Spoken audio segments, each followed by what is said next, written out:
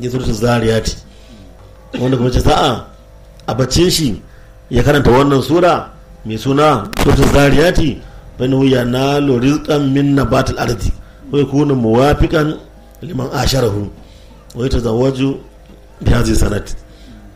Idan mutum sa'a ya karanta suratul zariyati a bacci an mishi bayani ne zai samu arziki mai yawa daga tsire-tsire misali in da baka san sanar da zaka kai arziki ba ka kai sa ka karanta suratul zariyati ko misali to ko ma noma kawai. Arzikin ka na ƙarƙashin kasa ko ma noma. Arzikin ka na a ƙarƙashin kasa ko kuma noma ko hanyoyin da ake bi ake gano fetur ko ruwa da sauransu. Ko ma'adanai. Arzikin a ƙarƙashin kasa yake. Suratul zariyati sai suratul duri duk wanda ci sa'a ya karanta ta fa innahu yurzaqu mujawaratu baitul haram sinina wa shuhura. Waladan. Wanda ci sa'a ya karanta su ta dole a rayuwar shi. Za a zata shi da yawan zama a garin makka. Za a zata shi da yawan zama a garin makka. Shekaru masu yawa ko watanni masu yawa. Amma lallai ba zai mutu ba sai Allah mashi dama ya je makan ya yi shekaru a can ko ya yi watanni da yawa. Wanda ci sa'a karanta su ta dore girgi daga nan sai sutun najami imam jafar sa'ad garzan ce wanda karanta sutun najami innahu yurzaqu waladan ya mutu bi marzati Allah ta'ala. In kana ga fa innahu yarji kana ga ban fa innahu yarji. Wanda karanta sutun najami a bacci inji imam jafar sa'ad garzan ya ce in mutum bai taba haihuwa ba ne Allah zai ba shi haihuwan da nagari wanda dan nan zai rayu cikin yardan Allah kuma ya mutu cikin neman yardan Allah. In kuwa dama tun Allah na dan dan yi tafiya ne ba sai inda yake ba sai yin farki ya karanta. Surtun na jami an gaya shi ɗanka ga nan zai dawo. Yanar da shi zai dawo. Ala kiyaye mu. Na kuma sura na gaba. Surtun kamari don da karanta ta ko aka karanta mishi a bacci bayan nuyi su janu za a kulle shi ne za a sha gidan yari.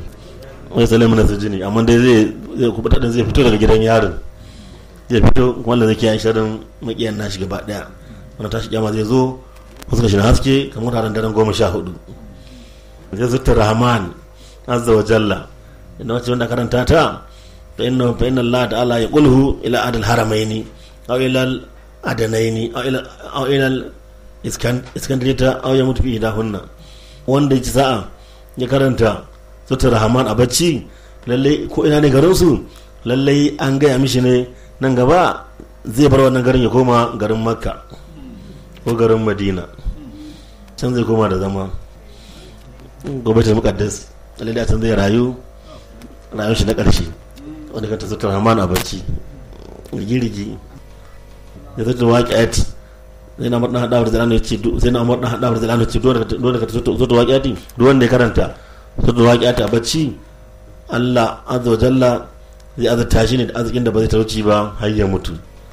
Kuma kuma waya kunu min sabiqina ila jannati a lahira kuma daga cikin manyan manyan makusanta masu tsere zuwa shiga cikin aljanna. Daga cikin manyan manyan bayan Allah mazuwa cikin aljanna cikin sabiquna sabiquna.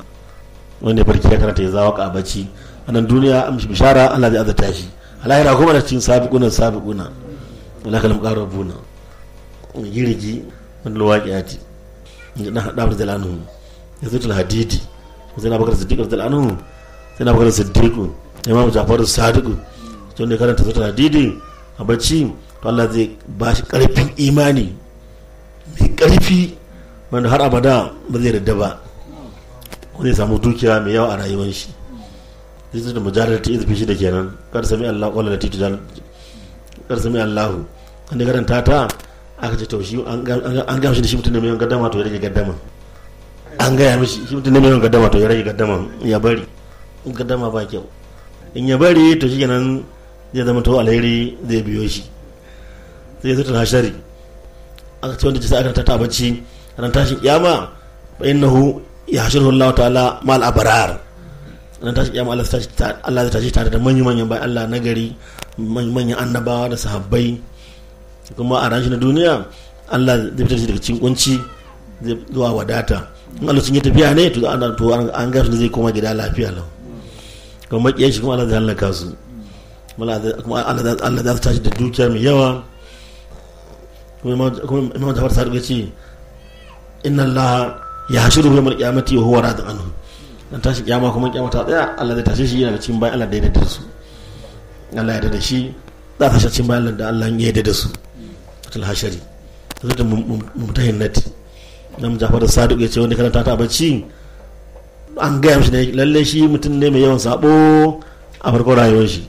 Amma Allah zai shirye shi ya tuba a ƙarshen rayuwar shi. Ina ta fasara kenan a bacci in kanta wannan sura.